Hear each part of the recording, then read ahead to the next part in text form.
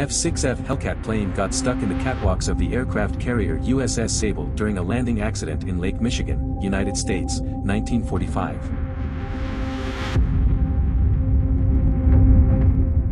In 1945, AF-6F Hellcat is preparing to land on the training aircraft carrier USS Sable in Lake Michigan, United States.